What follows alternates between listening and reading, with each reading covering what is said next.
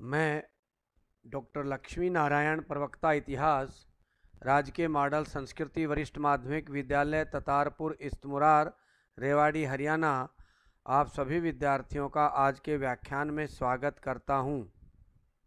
आज का अपना उप विषय है, हड़प्पा संस्कृति में जनजीवन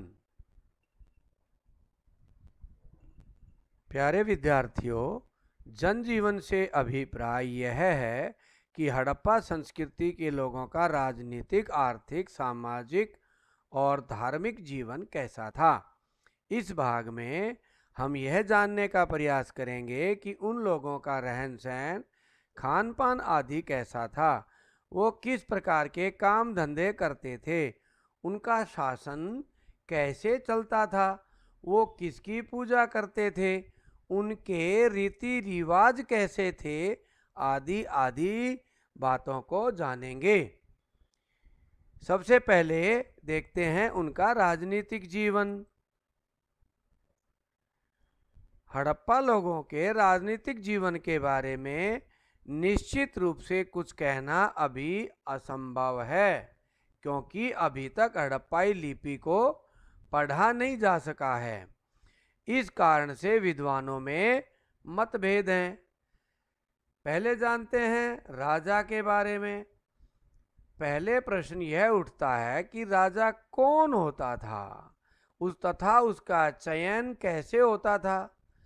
इस बारे में निश्चित रूप से कुछ नहीं कहा जा सकता, परंतु खुदाई से मिले तथ्यों के आधार से हम कुछ अनुमान अवश्य लगा सकते हैं कि राजा कौन होता होगा? हड़प्पा खुदाई में सामान्य नगर के साथ ही हमें ऊँचे क्षेत्र पर वैभवशाली निर्माण कार्य मिला है। यहाँ बड़े बड़े कमरे वाले विशाल भवन मिले हैं, जिनमें ये विशाल भवन स्तंभों पर बने हैं। तो कई जगह इन विशाल भवनों को अंदर से अनेक भागों में बांटा भी गया है। ये राजा के परिषद या जनता के साथ मीटिंग हॉल थे या व्यापारी के गोदाम थे, ये आज भी हम ठीक ठीक अनुमान नहीं लगा पाए हैं। आओ इस चित्र का निरीक्षण करते हैं। ये हड़प्पा की खुदाई में मिला एक नगर है मोहनजोदड़ो, इसको ध्यान से देखें। कि एक तरफ़ ऊँचा निर्माण कार्य है। ये नगर दुर्ग का क्षेत्र इसको कहा गया है, यानी कि ऊँचे क्षेत्र को नगर दुर्ग कहा गया है। ये निचला नगर है। ये विशाल स्नानागार हमें मिला है। उसका चित्र है साथ में, और ये सामान्य नगर दिखाई दे रहा है। इसको निचला नगर कहा गया है। अब इस चित्र में भी हम देखते हैं, ऊँचे स्थान पर बने किले नुमा स्थान। देखो, ये ऊँचे स्थान पर बना हुआ एक स्थान है, जो नगर दुर्ग क्षेत्र कहलाता है, और इसके नीचे ये सामान्य नगर है। इन तथ्यों के आधार पर ही हम यह अनुमान लगा सकते हैं कि प्रत्येक नगर का अपना राजा होता होगा। पहला अनुमान तो ये हुआ। दूसरा, नगर के ऊँचे स्थान पर पुरोहित रहता होगा और वो ही धार्मिक कार्यों के साथ साथ राजकार्य भी देखता होगा। तीसरा अनुमान, नगर का व्यापारी राजा का कार्य भी करता होगा क्योंकि ऊँचे स्थान पर हमें दुर्ग क्षेत्र में हमें गोदाम भी मिले हैं। तो ये तो रहा राजा के बारे में हमारा अनुमान। अब राजा क्या कार्य करता होगा? वहाँ के निर्माण कार्य और नगरों की बसावट से हम अनुमान लगाते हैं। राजा के द्वारा कार्यों के बारे में हमें सिर्फ़ अनुमान ही लगा सकते हैं। राजा नगर के झगड़ों को सुलझाता होगा। नगर की साफ़ सफ़ाई, रोशनी व निर्माण कार्य योजना से हो, इसका ध्यान रखता होगा। उपभोग की सभी वस्तुएँ नगर में उपलब्ध हों, यह व्यवस्था करता होगा। भू राजस्व व अन्य कर इकट्ठा करना और उसको उचित जगह पर खर्च करने का कार्य भी राजा करता होगा। ये हमारा एक अनुमान लगाया हुआ राजा का चित्र है। पुरोहित राजा। यानी के धार्मिक कार्यों के साथ साथ राज कार्यों को भी देखता होगा। ये पुरोहित राजा का चित्र कहलाया है, ये मूर्ति कहलाई है। ये मूर्ति देखिए, प्यारे विद्यार्थियों, ये पुरोहित राजा की मूर्ति है। ये राजा का कार्य करता होगा, साथ ही धार्मिक कार्य भी करता होगा। साथ में देखो इसने चद्दर कैसे ओढ़ी हुई है? इस बाह से ये नीचे चली गई, दाढ़ी बढ़ी हुई है और चेहरे पर, देखो, तिलक लगा है माथे पर। आर्थिक जीवन। हड़प्पा लोगों के नगरों को देखकर यह स्पष्ट होता है कि उनका जीवन बड़ा ही समृद्ध जीवन था। इनकी समृद्धि का क्या कारण हो सकता है? यह उस समय के तथ्यों से ही स्पष्ट होता है। तो आर्थिक जीवन में पहला उनका प्रमुख व्यवसाय कृषि। हड़प्पा के लोगों का मुख्य व्यवसाय कृषि था। इसका कारण यह था कि सिंधु नदी के आसपास का क्षेत्र बहुत उपजाऊ था। सिंचाई नदियों द्वारा होती थी। नदी पर ये लोग बाँध बनाना जानते थे। कुओं और ढीकली के माध्यम से भी ये लोग सिंचाई कार्य करते थे। ऊँट और बैल से हल चलाते थे। हल के प्रमाण हमें खिलौनों से मिलते हैं। वहीं हल की नालियाँ हमें कालीबंगा से मिली हैं। नालियाँ जिनको हम आम भाषा में खूड कहते हैं। चौलिस्तान व बनावली से खिलौना हल मिले हैं। शोरतु घई से नहर के अवशेष मिले हैं। पंजाब व सिंध से कुओं के धौलावीरा से जलाशय के सिंचाई के प्रमाण हमें मिलते हैं। एक साथ कई फ़सलें उगाई जाती थी। गेहूँ, जौ, चावल, बाजरा, कपास, तिल, सफ़ेद चना आदि की कृषि करते थे। ये कृषि उपकरण हम देख रहे हैं। प्यारे विद्यार्थियों ये हल है, ये हल का एक खिलौना मिला है हमें, ये इसकी फाल है जो ज़मीन को काटती है, ये जो छिद्र दिखाई दे रहा है, ये जो छिद्र दिखाई दिया है, इसे बैल या ऊँट के साथ यहाँ से इसको जोड़ते थे। ये अन्य धातु की फाल हमें मिली हैं, जो ज़मीन को काटने के काम आती थी, हल में लगाते थे इसको, ये फाल हैं। ये कुल्हाड़ा है, अन्य औज़ार भी मिले हैं, ये एक हैंडल है। ये बढ़ई द्वारा लकड़ी को प्लेन करने का रंदा है, ये अनेक हथौड़ा है। इसी तरह से अन्य औज़ार भी हम देख रहे हैं, कुल्हाड़े आदि। पशुपालन। पशुपालन हड़प्पा के लोग पशुओं का पालन मुख्य रूप से दूध, कृषि कार्य व बोझा ढोने के लिए, ऊन के लिए व मांस के लिए करते थे। भैंस, ऊँट, गधा, बैल, गाय, कुत्ता, सुअर, खरगोश, बतख, मोर, मुर्गी, तोते आदि ये पालते थे। हड़प्पा संस्कृति के लोगों को घोड़े का ज्ञान नहीं था। उद्योग, हड़प्पा में शिल्प उद्योग जैसे मटके बनाना, आभूषण बनाना, मूर्तियाँ बनाना, कपड़े बनाना, रंगना, विभिन्न प्रकार के कपड़ों के डिज़ाइन तैयार करना, धातुओं के बर्तन बनाना, कृषि के औज़ार बनाना, हथियार बनाना, मोहरे बनाना, भवन बनाना, फर्नीचर बनाना, छकड़े बनाना, छकड़े बैलगाड़ी को बोलते हैं। और खिलौने बनाना इस प्रकार के उद्योग इनके हमें मिले हैं। व्यापार तथा वाणिज्य, हड़प्पा का व्यापार तथा वाणिज्य काफ़ी उन्नत था। देश विदेश के साथ व्यापार होता था। व्यापार जल और स्थल दोनों मार्गों से होता था। जल से व्यापार के अवशेष हमें गुजरात के लोथल से बंदरगाह के रूप में मिले हैं। विदेशी व्यापार, मगान, दिलमुन तथा मैसोपोटामिया से होता था। विदेशों से सोना, चांदी तांबा श्रृंगार की वस्तुएँ तथा मूल्यवान पत्थर मंगवाते थे, जबकि विदेशों को सूती कपड़ा, आभूषण, मोती, हाथी दांत व अन्य वस्तुएँ, जिनमें मोर, लंगूर, बंदर आदि जानवर भी शामिल थे इनका निर्यात करते थे।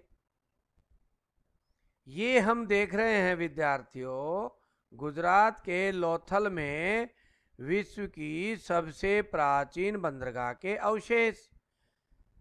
इन अवशेषों में हम देखते हैं कि इन दोनों साइडों में ये माल रखने की जगह थी। इधर भी ये चबूतरे बने हैं। उधर दूर समुद्र है और समुद्र से जहाज़ यहाँ तक आते थे। इस तरह से ये हमें बंदरगाह के अवशेष मिले हैं और संसार की प्राचीनतम बंदरगाह के अवशेष ये कहलाए हैं। तोल तथा माप। व्यापारिक सुविधा के लिए तोल माप की सुविधा बहुत ही अच्छी थी। बाट व मापक औज़ार हमें मिले हैं। बाट खूब मिले हैं। कुछ बाट तो इतने बड़े हैं कि उनको रस्सी की सहायता से उठाया जाता होगा। बाट ज़्यादातर चर्ट नामक पत्थर से मिले हैं। ये बाट हमें विभिन्न स्थानों से मिले हैं, परंतु इन बाटों में एक रूपता पाई गई है। ये बाट सरकारी नियंत्रण में तैयार होते होंगे, ये इस बात का प्रमाण है। ये सभी बाट एक अनुपात, दो अनुपात, चार अनुपात, आठ, सोलह, बत्तीस, चौसठ के अनुपात में बने मिले हैं। ये नीचे हम चित्र में देख रहे हैं, ये तराजू है। इस तरह से ये बाट हैं छोटे, और छोटे से छोटा बाट ये देख रहे हैं हम, ये बड़े बाट भी हैं। तो इस तरह से चर्ट पत्थर के बाट हमें मिले हैं। सामाजिक जीवन, खुदाई से मिले तथ्यों के आधार पर यह कहा जा सकता है कि इन लोगों का सामाजिक जीवन बड़ा ही समृद्ध रहा होगा। सामाजिक जीवन की विशेषताएँ देखते हैं। पहली, सामाजिक जीवन की इकाई होती है परिवार। हड़प्पा लोगों के समाज की प्रमुख इकाई परिवार थी। परिवार में दादा, दादी, माता, पिता सभी साथ रहते होंगे, क्योंकि मकान बड़े बड़े मिले हैं। परिवार मात्र सत्तात्मक भी हो सकते हैं, क्योंकि स्त्रियों की जो मूर्तियाँ मिली हैं, उनसे यह अनुमान लगाया जा सकता है। दूसरा, सामाजिक वर्गीकरण। समाज कैसे और किस प्रकार विभिन्न वर्गों में विभाजित था, इसकी स्पष्ट जानकारी अभी हमें नहीं है, परंतु इतना अनुमान अवश्य लगाया जा सकता है कि यह शासक वर्ग, धनी वर्ग, मध्यम वर्ग और निम्न वर्ग में बटा होगा। यह अनुमान वहाँ पर मिले मकानों के अवशेषों के आधार पर लगाया गया है। भोजन व पशुपालन। हड़प्पा में खुदाई में विभिन्न अनाजों के दाने मिले हैं, जैसे गेहूँ, बाजरा, जौ, दालें, सफ़ेद चना, तिल आदि मिले हैं। इसके साथ ही ऊँट, भेड़, बकरी, भैंस, सुअर आदि पशुओं की हड्डियाँ भी मिली हैं, जिनको दूध, मांस व हल व बोझा ढोने के काम में लेते होंगे।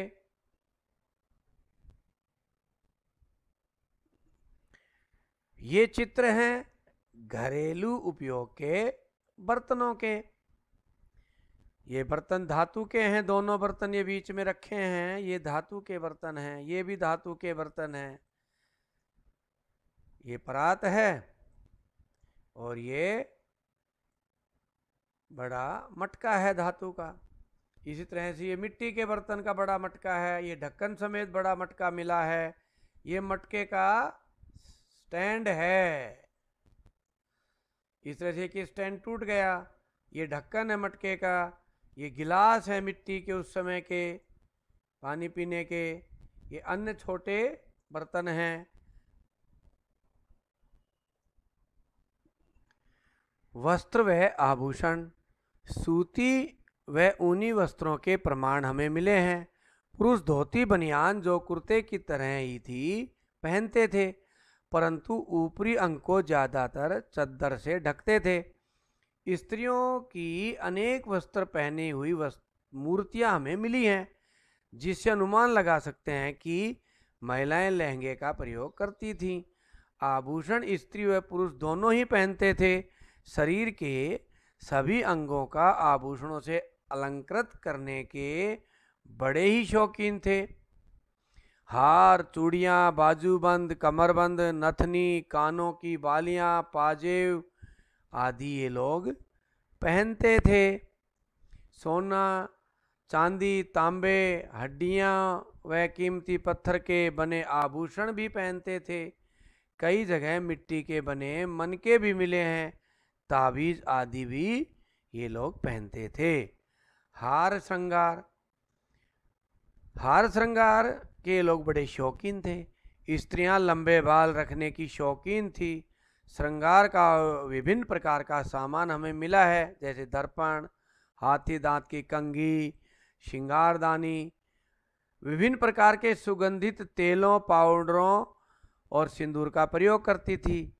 पुरुष भी दाढ़ी व मूछ रखने के शौकीन थे। मनोरंजन के साधन, ये लोग बड़े ही आमोद प्रिय थे। शतरंज व चौपड़ खेलना पशु पक्षी पालना और उनकी लड़ाइयाँ करवाना, मछली पकड़ना व शिकार करना, इनके मनोरंजन के साधन थे। ढोल व वीणा जैसे संगीत यंत्र बजाना, नाचना, गाना भी मनोरंजन के साधन थे। बच्चे विभिन्न प्रकार के मिट्टी के खिलौनों से खेलते थे, जैसे बैलगाड़ी, सीटियाँ, झुंझुने आदि। चित्र में विद्यार्थियों, हम हड़प्पाई लोगों के आभूषण देख रहे हैं। ये माला है, ये मनिए हैं, ये सोने से बना हुआ हार है, जो शेरनख डिज़ाइन में बनाया गया है।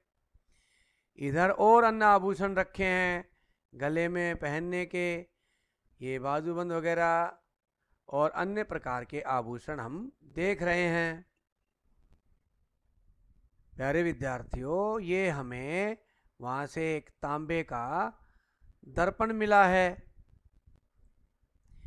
ये हाथी दांत का कंघा है और ये श्रृंगारदानी है, जिसमें पाउडर या सिंदूर या अन्य श्रृंगार का सामान रखते होंगे। ये बच्चों के खेलने के खिलौने हमें मिले हैं। मिट्टी के भी हैं और धातु के भी कुछ खिलौने मिले हैं। ये देखो। इसी तरह से ये बैलगाड़ी के साथ खिलौना है। ये दूसरा बैलगाड़ी और सामान रखते होंगे इस तरह बच्चे खेलते होंगे। ये देखो बैलगाड़ी में सवारी बैठी है। तो कितने डिजाइनदार खिलौने ये लोग बनाते थे। प्यारे विद्यार्थियों, हमारे सामने चित्र हैं चौसर और शतरंज के। ये चौसर के पासे हैं और ये शतरंज है। ये शतरंज के मोहरे दिखाई दे रहे हैं। पत्थर के ऊपर शतरंज के खाने बनाए गए हैं। मृतकों का संस्कार। मृतकों का संस्कार। हड़प्पा लोगों में मृतकों के अंतिम संस्कार की अनेक प्रथाएँ थी। शवों को जलाना और उनकी राख को मिट्टी के बर्तन में रखकर दबाना। शवों को दबाना और उनके शव के साथ उनके उपयोग की वस्तुएँ मृद भांड व आभूषण आदि रखना। तीसरा है शवों को खुले में छोड़ देते थे तथा जानवरों द्वारा खा लेने के बाद कंकाल को दबा देते थे।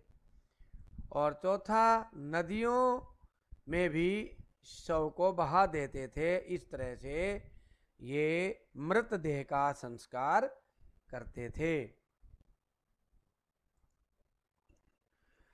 प्यारे विद्यार्थियों, इस चित्र में हम एक जगह इकट्ठे शवों को देख रहे हैं। ये शव बाढ़ या महामारी से मारे गए लोगों के होंगे, जो बाढ़ की मिट्टी से यहाँ दब गए होंगे। परंतु कुछ इतिहासकार इनका गलत अर्थ भी निकालते हैं। वो कहते हैं कि आर्यों के आक्रमण से ये लोग मारे गए और धीरे धीरे इनके शव मिट्टी में दब गए। परंतु ये कैसे संभव है? उस जमाने में तो जंगली जानवर भी बहुत होते थे। क्या वो इन शवों को उठाकर खींचकर नहीं ले गए? और शव इतनी जल्दी मिट्टी में कैसे दब जाएँगे? सैकड़ों साल की प्रक्रिया से एक नगर मिट्टी में दबता है।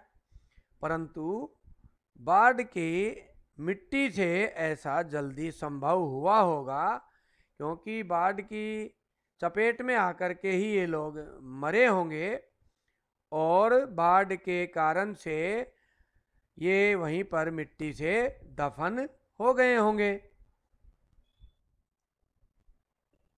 प्यारे विद्यार्थियों, एक और शव हम देख रहे हैं चित्र में। ये उल्टा सोए हुए व्यक्ति की तरह है। साथ में इसके बर्तन रखे हुए हैं उपयोग के, मिट्टी के। ये जोड़े के साथ एक दफन कंकाल हमें मिला है। साथ में ही योग मुद्रा में दफन एक योगी का कंकाल भी मिला है। प्यारे विद्यार्थियों, ध्यान से देखिए, ये योग मुद्रा में बैठा हुआ योगी है, जिसके हाथ उसके घुटनों पर हैं। धार्मिक जीवन। हड़प्पा लोगों का धार्मिक जीवन बहुत उन्नत था। उनके रीति रिवाज और धार्मिक विश्वास आज भी हिंदू समाज में देखने को मिलते हैं। देवी की पूजा। हड़प्पा संस्कृति के लोग देवी की पूजा करते थे। क्योंकि कई जगह देवी की मूर्तियों पर धुएँ के धब्बे मिले हैं, जो इनके सामने घी, तेल के दीपक धूप बत्ती आदि जलाने से हुए होंगे। मात्र देवी की भी मूर्ति मिली है और एक जन्नी देवी की भी मूर्ति हमें मिली है। आगे चित्र में हम दिखाएँगे। शिव की पूजा के भी प्रमाण मिले हैं। यहाँ हमें शिव की पूजा के अनेक स्थानों से अनेक प्रकार के प्रमाण मिलते हैं। मोहन जोदड़ो से प्राप्त तीन मुखों वाली मुहूर में योगी की मुद्रा में समाधि लगाए हुए दर्शाया गया है। उसने लंबे सींगों वाला मुकुट पहन रखा है। इसके इर्द गिर्द चार जानवर दाई और हाथी और शेर तथा बाई और गेंडा व सांड दिखाई गया है। उसके सिंहासन के नीचे दो हिरण खड़े हैं। यह शिवी है जो आज भी हम विभिन्न नामों से पुकारते हैं, जैसे त्रिमुखी, पशुपति, योगेश्वर आदि। प्यारे विद्यार्थियों, हमारे सामने दो चित्र हैं, जो मात्र देवी के चित्र हैं।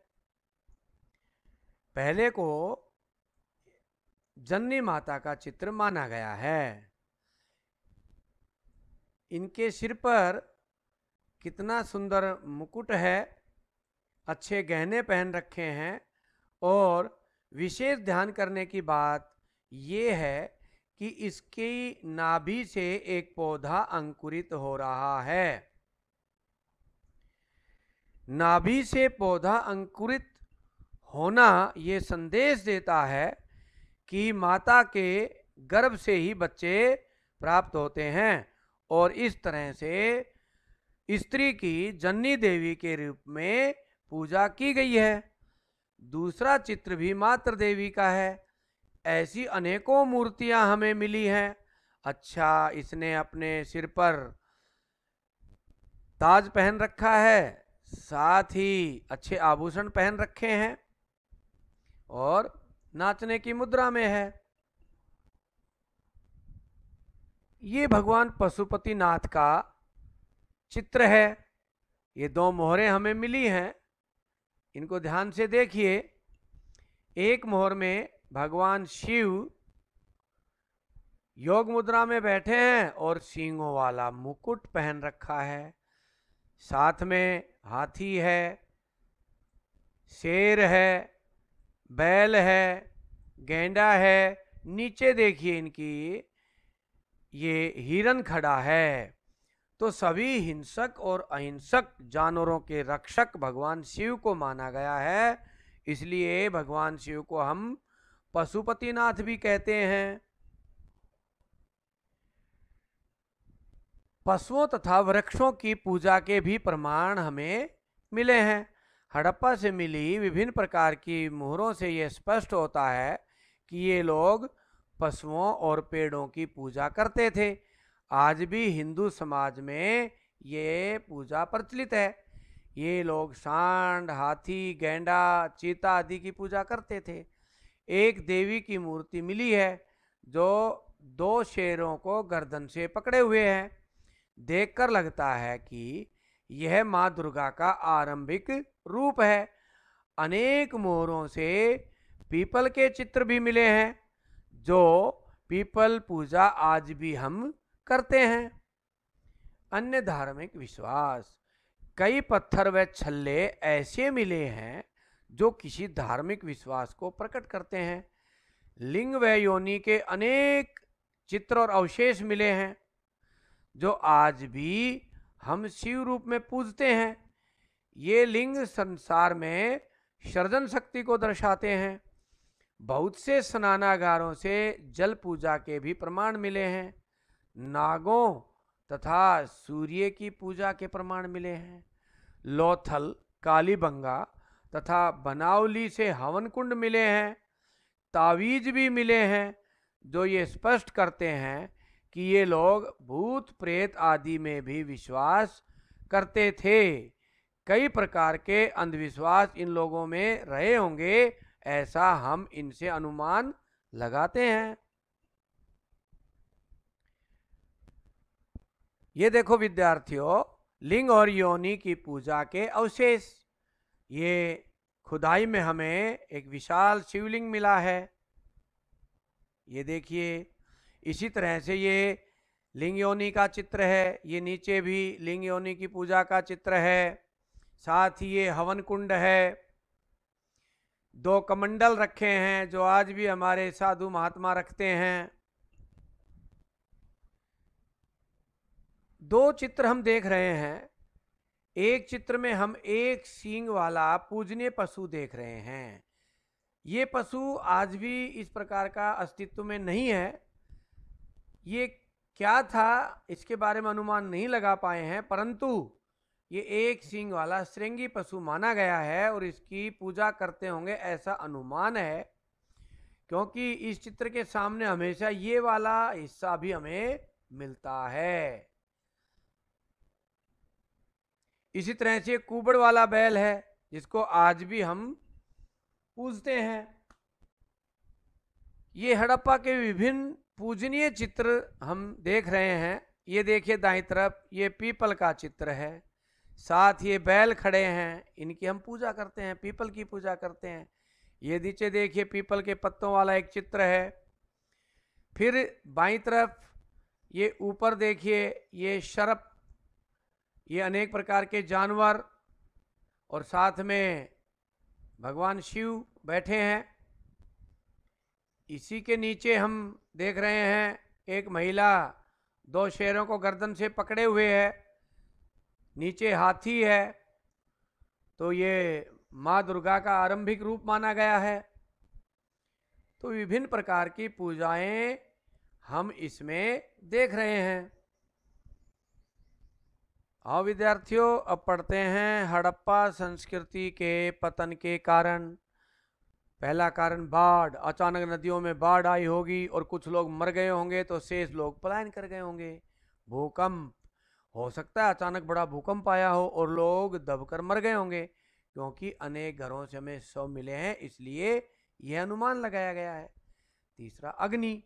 कुछ विद्वान बलोचिस्तान में जलने के प्रमाण मिलने पर अनुमान लगाते हैं कि अचानक कोई अग्निकांड हुआ होगा, जिससे यह नष्ट हो गई है। चौथा है पर्यावरण। असंतुलन। जॉन मार्शल व डॉक्टर रोनाल्ड ये मानते हैं कि ज़्यादा जंगल काटने से वर्षा न होने के कारण सूखा पड़ा होगा और ये लोग स्थान छोड़कर चले गए होंगे। पांचवा महामारी, कोई महामारी आई होगी और ये सब खत्म हो गए होंगे। छठा, बढ़ती जनसंख्या। बढ़ती जनसंख्या असंतुलन के कारण ये सभ्यता नष्ट हो गई होगी। सातवां, व्यापार में गिरावट। प्रोफेसर आर एस शर्मा का कहना है कि व्यापारिक गिरावट के कारण राजनीतिक अस्थिरता आई होगी और ये लोग इधर उधर चले गए होंगे। आठवां एक कारण आर्यों का आक्रमण। कुछ विद्वान इसको कारण मानते थे, परंतु आधुनिक खोजों ने यह प्रमाणित कर दिया कि ये आरंभिक आर्य ही थे। हमने भी अनेक प्रमाण देखे। हमने देखा, भगवान शिव का योग मुद्रा में चित्र और एक योगी का चित्र आज भी हम इसी मुद्रा में बैठकर योग करते हैं। फिर भगवान शिव की पूजा आज भी हम करते हैं। इसके अलावा साधु संतों के कमंडल मिले हैं जो आज भी साधु रखते हैं। फिर प्रकृति पूजा के प्रमाण मिले हैं, पीपल के पूजा के प्रमाण मिले हैं, पशुओं की पूजा के प्रमाण मिले हैं, बैल की पूजा के प्रमाण मिले हैं, सर्प की पूजा के प्रमाण मिले हैं, लिंग और योनि की पूजा के प्रमाण मिले हैं। हवन कुंड मिले हैं, जो आज भी हमारे लिए पूजनीय हैं। इस तरह से अनेक प्रमाणों से ये सिद्ध होता है कि हड़प्पा ही लोग आरंभिक आर्य थे, आरंभिक ही सनातन संस्कृति के लोग थे। इसी के साथ आज का हमारा यह व्याख्यान समाप्त होता है। अब कुछ अभ्यास के प्रश्न। हड़प्पा के आर्थिक जीवन पर प्रकाश डालिए। हड़प्पा का सामाजिक व धार्मिक जीवन कैसा था? हड़प्पा में राजा के बारे में विद्वानों के क्या विचार हैं? और एक बड़ा प्रश्न लिखना है, हड़प्पा के जन जीवन पर प्रकाश डालिए। इसी के साथ हमारा आज का व्याख्यान समाप्त होता है। आप सभी का बहुत बहुत धन्यवाद।